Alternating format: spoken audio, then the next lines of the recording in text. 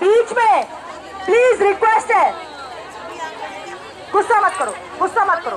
वो लोग संचालन कमेटी के सदस्य वो किसी कारण से खड़े हुए हैं। कोई बात नहीं, कोई बात नहीं।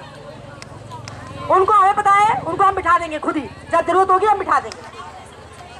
बाकी लोग यहाँ से बैठ जाए और सभी लोग ध्यान रखें। मुझे ऐसा लग रहा है कि समय कुछ ज़्यादा हो गया। मन में बहुत सारी उथल पुथल चल रही है। चल रही है ना? तो उथल पुथल को शांत करो। ये उथल पुथल बहुत चलती है। हमने इतने गीत यहाँ पे गा लिए। कल भगत सिंह के बारे में ही मैंने बताया था। जो लोग थे, जो लोग थे उन्हें पता है भगत सिंह के बारे में मैंने कल क्या बताया था। और जो लोग नहीं थे, उनको एक नई चीज़ बता रही हूँ। जो है, उनके लिए कल जिन्होंने सुना उनके लिए भी नई होगी। भगत सिंह केवल ऊपर ऊपर से लड़ाई लड़ने नहीं निकले थे देश की आज़ादी के लिए।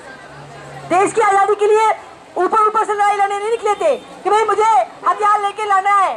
नहीं। वो निकले थे लड़ने। वो निकले थे लड़ने आज़ादी की लड़ाई विचारिक रूप से भी। आज़ादी एक्चुअली क्या होगी? वो ये समझते थे। वो जानते थे कि आज़ादी जो देश की जनता है अधिकार मिल जाए, उसके लिए बोली जाती है आज़ादी। आज़ादी का मतलब च- हमने अंग्रेज़ चले गए, अंग्रेज़ चले गए, और अपने ही देश के बड़े बड़े धन्ना सेठों के हम लोग गुलाम हो गए। तो ये चीज़ के लिए भगत सिंह कभी भी आज़ादी नहीं चाहते थे। ये चीज़ के लिए आज़ादी नहीं चाहते थे भगत सिंह। भगत सिंह किसके लिए आज़ादी चाहते थे?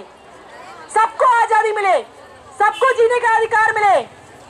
देश की जनता को जीने का अधिकार मिले। चाहे वो कोई भी क्यों ना हो। तो ये चीज़ मुझे लगता है कि सभी लोगों को थोड़ा और भगत सिंह के बारे में पढ़ना चाहिए और थोड़ा जानना चाहिए। हमारे बीच में जो दादा है, जो लीडर है, वो आगे की कार्यवाही संभाल रहे हैं। मैं उनके हाथ में माइक पकड़ा रही हूँ।